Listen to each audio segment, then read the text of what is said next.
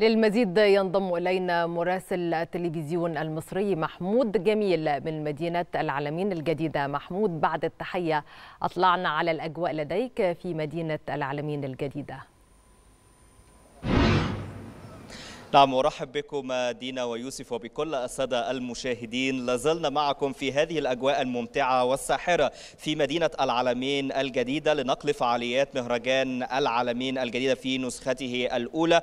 والمهرجان لازال يستقبل كل الزوار وكل الجماهير سواء من مصر أو الدول العربية أو حتى الدول الأجنبية. ولعل هذه هي النقطة التي سأبدأ بها الحديث معكم على التوافد الكبير على مدينة العلمين الجديدة. يعني يعني منذ أيام كان هناك عدد كبير وبالأمس رأينا التوافد الكبير على مختلف الأماكن الترفيهية والمناطق الترفيهية في مدينة العلمين الجديدة. نتحدث اولا عن الشواطئ الممتلئة والتي تستقبل كل المصيفين وكل الزائرين من مختلف الأماكن ومن مختلف الدول فضلا عن الممشى السياحي الذي يستقبل أيضا الزائرين ليلا للتمتع بالأجواء الساحرة الجميلة مع حالة الطقس الجميلة في مدينة العلمين الجديدة خاصة الأيام الأيام السابقة وفي نهاية الأسبوع قبل الأخير فيما يتعلق بالفعاليات الرياضية التي كانت موجودة والإقبال الشديد ولكل عشاق السيارات في مسابقة الرالي موتور سبورت وأيضا في كل الفعاليات المختلفة التي كانت موجودة على الممشى السياحي. هذا التوافد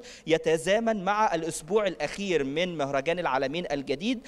الجديدة هذا الأسبوع سيكون هناك عدد كبير من المفاجآت ومن الحفلات سواء كانت أو الفعاليات سواء كانت الرياضية أو الفنية سيكون سيكون هذا الأسبوع بداية من يوم الخميس. سيكون هناك بطولة التجديف الخاصة طبعا بالفعاليات الرياضية ثم كرة الطائرة الشاطئية لكن سيكون هناك عدد كبير من الحفلات الفنية خلال هذا الأسبوع. ستنطلق هذه الحفلات أو هذه الفعاليات أيضا من يوم الخميس في الرابع والعشرين من أغسطس. ستبدأ بمهرجان القاهرة للدراما في نسخته الثانية وهذا هو الحدث الأبرز خلال هذا الأسبوع وفي خلال هذا اليوم. لكن أيضا في يوم الرابع والعشرين سيكون هناك عدد من الحفلات الفنية. تحديدا في هذا اليوم سيكون حفل وسهرة غنائية كبيرة تجمع ما بين الفنان محمود الليثي ومحمد عدوية ومسلم. وأيضا خلال هذا اليوم أيضا سيكون هناك يعني بعض الفعاليات الخاصة بمسرح الشارع وأيضا الفنون الشعبية والتراثية. ثم نعم. يوم الجمعة أيضا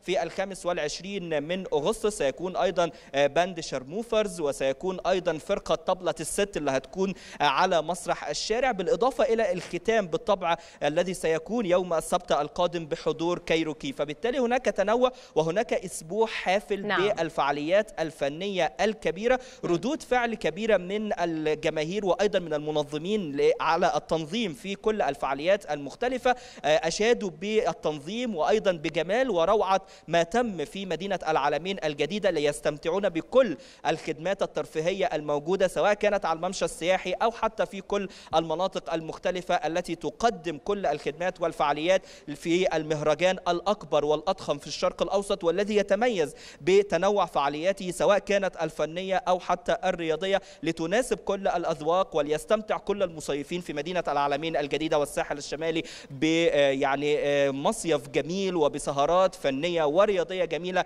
من خلال مهرجان المهرجان العالمين الجديدة. وسنتابع بالتأكيد معكم بالتأكيد كل محمود. الجديد والمفاجآت الجميلة الموجودة في هذا الأسبوع أشكرك. عودة إليكم مرة أخرى شكرا لك محمود جميل مراسل التلفزيون المصري